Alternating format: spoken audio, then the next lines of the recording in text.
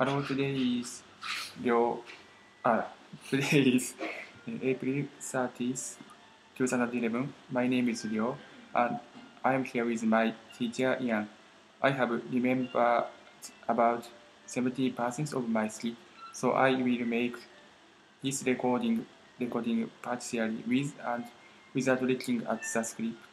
The category is casual, and the title is Changing in Divisions. Okay. Go ahead. Hey Hiroshi, what do you think about uh, what do you think about our current manager being pro- promoted? I think it was well deserved. In my opinion, he has done a very good job since I've been here. I fully agree, but um, I'm slightly concerned about this uh, his replacement, and I also had new graduate joining our division.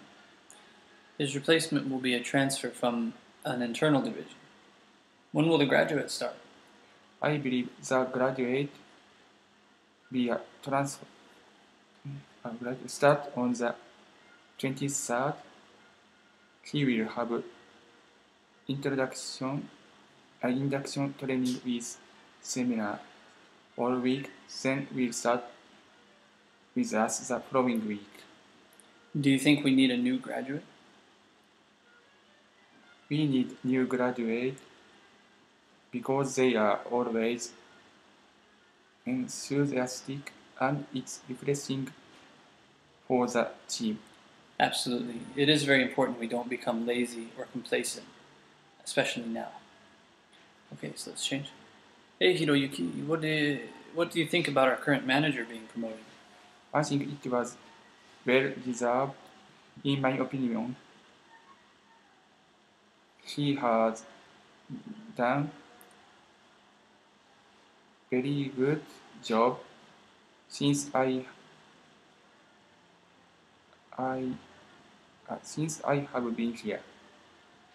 I fully agree, but I'm slightly concerned about his replacement. And I also heard we have a new graduate joining our division. His replacement will be a transfer from an internal division. When will the graduate will start? Uh, the graduate start. I believe the graduate will start on the 23rd. He will have induction training with seminars all week. Then we will then he'll start with us the following week. Do you think we need new graduate? We need new graduates because they're always enthusiastic and it's refreshing for the team. Absolutely. It is very important we don't become lazy or complacent, especially now. Okay. Very good.